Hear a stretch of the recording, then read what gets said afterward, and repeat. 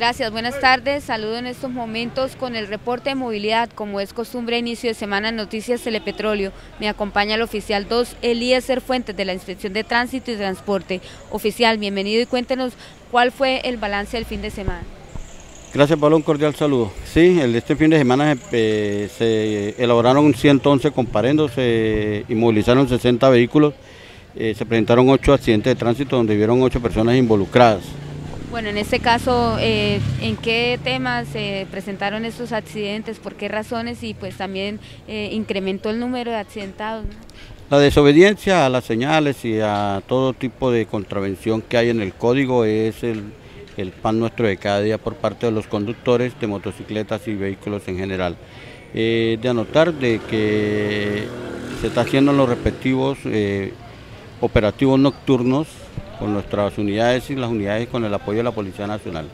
Bueno, cuéntenos un poco sobre, eh, ya empiezan esta semana otra vez los operativos, recordarle a la gente que ya las sanciones son económicas en el tema del decreto 114.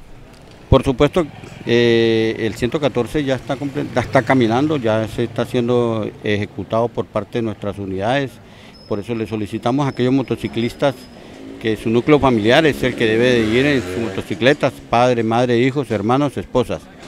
De igual manera le solicitamos a aquellas personas que están prestando ese servicio que no es autorizado, que es transporte informal, que se acojan al decreto y que miremos las cosas desde otro punto de vista para que así no tengan inconvenientes económicos en la inmovilización de sus vehículos. ¿Cómo se escogen los sitios donde ustedes adelantan estos operativos oficiales?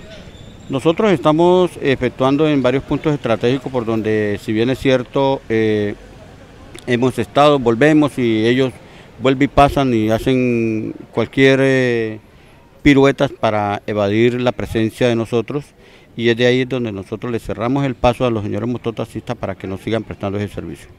Bueno, oficial, muchas gracias por este reporte entonces que entregan las autoridades al inicio de semana y también sobre lo que fue la movilidad en Barranca Bermeja durante el fin de semana. Información por el momento.